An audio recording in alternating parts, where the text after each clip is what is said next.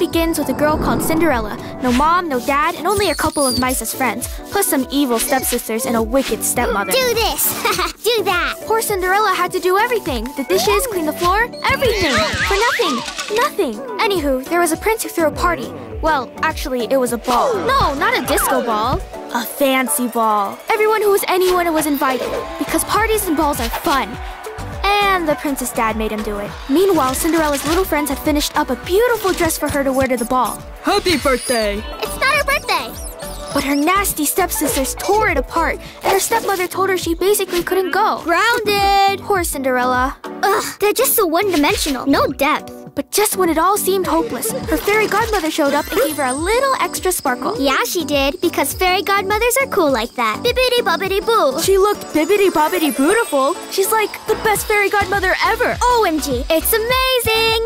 You look beautiful, Cinderella. Nailed it. She wasn't the only one who got a transformation. Everything turned into something else. A pumpkin turned into a carriage, the mice turned into horses, and a horse turned into a coachman. So, of course, the prince fell head over glass heels in love with this mystery girl that no one had ever seen before. They danced, but she only had until 12 midnight, otherwise, the magical spell would end. Oh no! She ran off, but dropped her glass slipper. Good thing that it didn't break, because that was all the prince had to find her. He searched high and low, but nobody's feet could fit the glass slipper. Her evil stepsisters tried to force their feet into it, and her wicked stepmother, who had figured out that the mystery girl was Cinderella, made sure the slipper was lost forever. Can you believe it? But Cinderella had the other one, so now the shoe was on the other foot. Ha! Yeah. Well, finally, all of Cinderella's dreams came true.